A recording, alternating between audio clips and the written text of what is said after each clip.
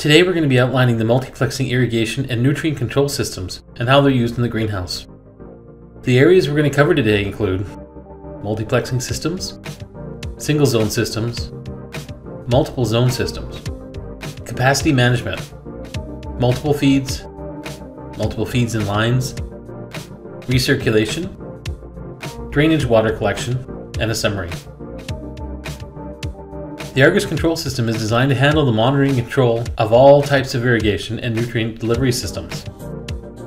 It uses proven Argus feed-forward control intelligence for fast response and the highest dosing accuracy and safety. The Argus multi-feed injection system is engineered to your specifications, single head, AB, or multi-head options, is ideal for pressurized inline or dilute tank applications, has low residual volumes for efficient feed switching, is excellent mixing at all system flow rates, works with fresh supply and recirculating systems. The Argus injector panel works with a wide range of stock concentration strengths, has no additional pumps required, works with your system pump, works with system pressures, has few moving parts made from simple high quality components, is compact, easy to install, and a rack mounted design is easy to operate, controlled by your Argus system. Uses standard monitoring, alarms, and nutrient control programs. Uses positive isolation of stock solutions to prevent accidental siphoning. Multiplexing systems. When designing a multiplexing irrigation system, the control system, injection equipment, and related switchgear is the easy part. There are some fundamental plumbing and application issues that must be considered before you start. The type of delivery system you choose will ultimately depend on your needs and priorities. Consider the following scenarios. They start from the simplest to the more complex systems. We'll discuss their respective advantages and disadvantages as we go along. Single zone system, one feed recipe, one distribution path, piping system, one watering zone, no recirculation. With this system you always have the correct feed in the lines and you can water whenever you like for as long as you like. This type of system easily lends itself to a dilute tank or a simple injection system. Zone valves are seldom required and the pump can be operated either manually or with a simple timer. If the pump is operated by your Argus computer, you can use irrigation decision-making programs for scheduling your waterings. Advantages. Very simple design, few parts, no waiting for other zones to finish watering, no cross-contamination of feeds or pathogens. Disadvantages. Since everything is watered at the same time, all crops get the same amount of water and your pump and piping needs needs to be sized for 100% of the delivery capacity. Multiple zone systems. One feed recipe, one distribution path, multiple watering zones, no recirculation. More than one zone can be serviced by the same system. Irrigation systems are divided into zones for two reasons.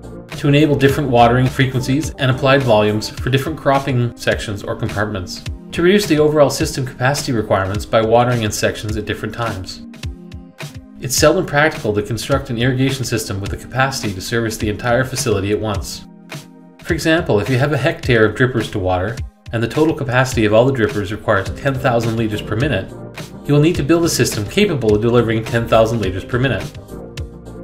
However, if you can divide the hectare into 10 equal-sized watering zones, each with its own solenoid valve, you can then water one zone at a time.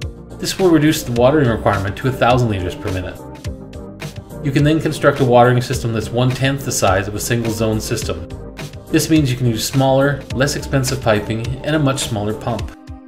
Advantages. Lower installation costs than a comparable one-zone system. Lower installation costs than multiple independent systems, for example a separate irrigation system for each zone. The design is relatively simple, and relatively few parts. Disadvantages. If all the zones cannot be watered simultaneously, then the system capacity must be managed. Zones that require water may sometimes have to wait to be serviced. There must be sufficient time for all zones to be watered sequentially, or as required. This is very important. If any of the zones need to be watered so frequently that the other zones never get a chance to be watered, the system will fail. Capacity management. Multi-zone watering systems that require capacity management can be managed in two ways. Manually separate the watering times using a multi-zone irrigation time clock. Use the features of the Argus system for automatic capacity management of independent zone watering schedules. Unlike irrigation time clocks, Argus watering schedules do not need to manually separate in time. The system automatically handles irrigation requests whenever they occur and processes them as system capacity becomes available. Multiple feeds. Multiple feeds, one distribution path, multiple watering zones, no recirculation. This example further complicates matters by introducing multiple feed recipes that need to be delivered to multiple watering zones. You now need a system that can either produce or select between prepared fertilizer recipes. At this point, irrigation time clocks are generally not an option. You're going to need a computer. With the Argus control system and the Argus multi-feed nutrient injection system, you can easily specify the strength, EC, and pH of the fertilizers, as well as the selected fertilizer stock concentrates that are delivered to each zone. A major drawback of this type of design is not the control of the system, but a physical design problem. Since there's only one distribution path, or piping system, whenever the feed is switched, there will always be a residual volume of the wrong feed in the distribution lines. Depending on the amount of residual volume in relation to the amount to be delivered, this may be a minor nuisance or a significant problem. In the worst case, it could mean that little or none of the intended feed may reach the target crop, since it will first receive the wrong residual feed that's in the lines. This will happen every time the feed's switched. As a compromise, some irrigation systems are designed with purge valves to dump the residual volumes in the distribution lines whenever there's a feed switchover. This dumped feed can be either wasted or delivered to a holding tank for some sort of reuse. This situation is often less than ideal. Purging can take up time from an already busy system, and the purged volumes are wasteful, particularly if the feeds are being switched often. Some growers have found a use for captured purge water on low value outdoor crops. It's possible, but seldom practical to return the purge feeds to separate holding tanks. There are other instances where centrally mixed, multiple feed systems may be impractical, particularly in research facilities. The diverse and changing needs of research projects can make it impractical to rely on a central system to deliver multiple fertilizer recipes. The negative effects of variable fertilizer content on controlled studies is obvious. Therefore, line purging is almost always necessary. This may create a waste disposal issue. With changing needs, there may be times when more recipes are required than your system is designed to accommodate. As the central mixing requirements become more complex, maintenance and management requirements will also increase. Many research facilities will opt for a compromise. Use a central fertilizer mixing system to deliver one or two house feeds in dedicated distribution piping lines. For example, each compartment can be supplied with manual and automated valves for each house feed that's provided, as well as plain water. Prepare and deliver project-specific feeds in the zones. When a project needs specialized feed recipes, users can resort to the standard garbage can and little giant pump systems, or other in-zone fertilizer delivery methods. We've seen this compromise approach work very well in many institutional settings. If your compartments are provided with computer-controlled outlets and a few spare inputs for monitoring, you can still have fully automated control. You can use your Argus system to manage these one-bench irrigation systems with as much sophistication as your central system. Multiple feeds and lines, multiple feeds, multiple distribution lines, multiple watering zones, no circulation. It's possible to provide an independent distribution line for each centrally mixed feed, this avoids the problems of residual volumes of the wrong fertilizer in the lines. The practicality of this design depends on the number of feeds you intend to supply and the distribution distances involved. Though more expensive to install, it solves the problem of residual feeds. In practice, however, due to the expense and complexity of the equipment required, this design is seldom used for more than two or three feeds. Recirculation. Many facilities recirculate some or all of their drain water from irrigation activities. While reducing waste, recirculation adds further complexity and risk. The physical, chemical, and biological qualities of the recirculated water must be considered before it's added back into the irrigation system.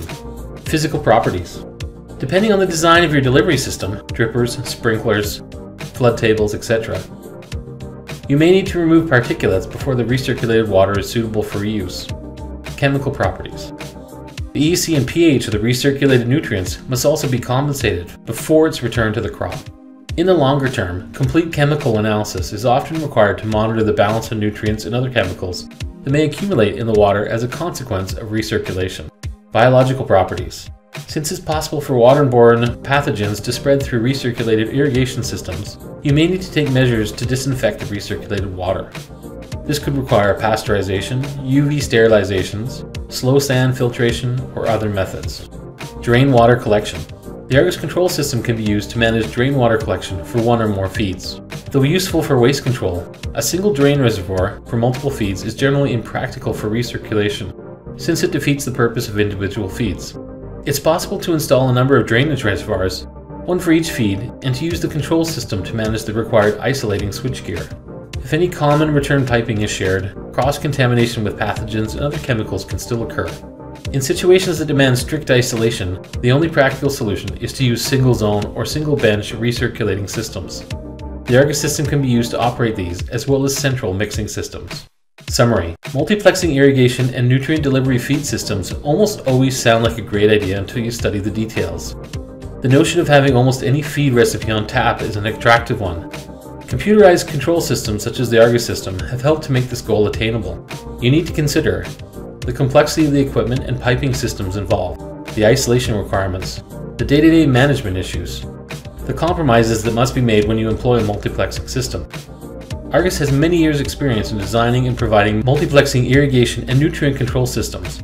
We can provide systems as simple or as complex as you require. Generally, the simplest approaches are the most successful in the long run.